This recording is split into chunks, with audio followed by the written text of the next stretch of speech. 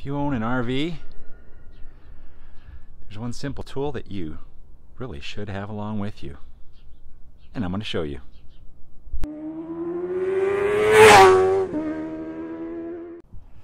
Hello my friends, and welcome to Tom's Tinkering and Adventures. Well, like I said in the intro, if you have an RV,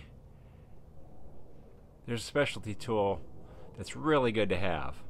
Now, I've owned several RVs. I've had a Class C RV, which is kind of like the van looking style that has the uh, overhead sleeper. And then I had a Class A, which you know looks like a bus. And now we currently have this travel trailer, this toy hauler. And every one of them needed maintenance. I've had really old ones and really new ones. They all require maintenance.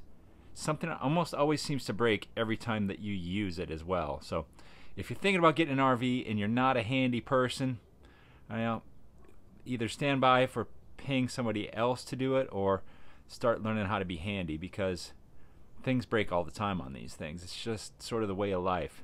I used to make fun of boat owners, but this is just a boat on land. That's all it is. So, uh, ha ha, back at me. The last time we went out, the screen door, here, let me look, it fits perfectly. There you go the screen door latch right here broke off.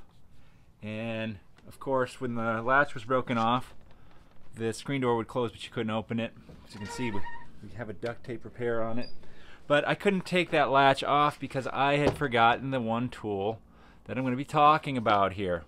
And that is a Robertson screwdriver. I don't know how well we can see this on there. There you go. See, that is a square drive every screw pretty much on the assembly of this thing has these square drive screws. Uh, you can either search square drive or Robertson. Robertson is the actual name of uh, uh, the screw um, head, invented by a, a, man with the last name of Peterson? No, Robertson, from Canada. So there's two places where these screw uh, heads are very popular, and one of them is in Canada, and the other one is in the RV industry.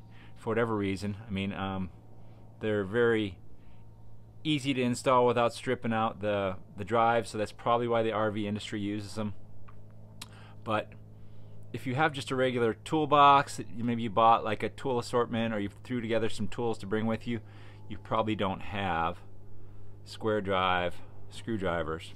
Now I bought I bought this set from our favorite uh, hated online distributor for $15. It's a Tekton is the name brand.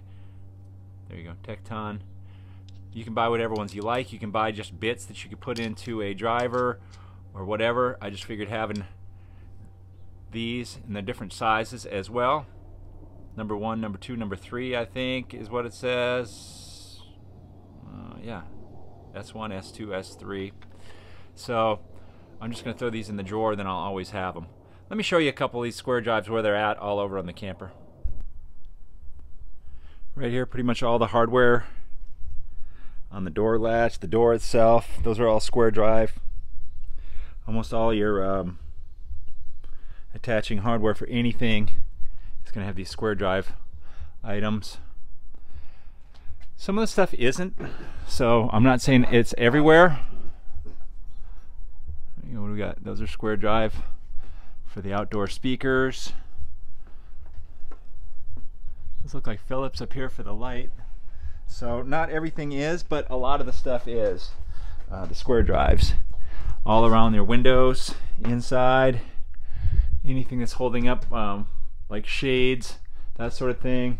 And this is the kind of things that they make these things super cheap. I don't care how much you spent for your RV. These things are made out of the cheapest material available. Yeah, see I already have a screw missing right here. One popped out of here, and this whole thing is moving, so there's a square drive. So I'm gonna have to fix that. Like I said, there's always something. If I look around down here, I'm sure I'll find that screw. But get yourself a nice set of Robertson bits or screwdrivers. Keep them with your RV at all times because if you're in the middle of nowhere and you need to fix something, you're gonna have a heck of a time getting these things out.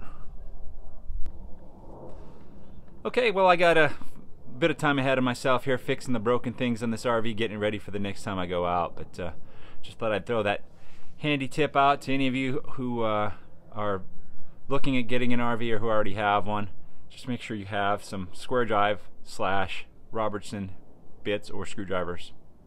Okay, if you're liking my videos, give me a thumbs up. Leave a comment down below. If you're not already a subscriber, please consider doing so. Thank you very much for watching. Get out there and find your adventure. Adios.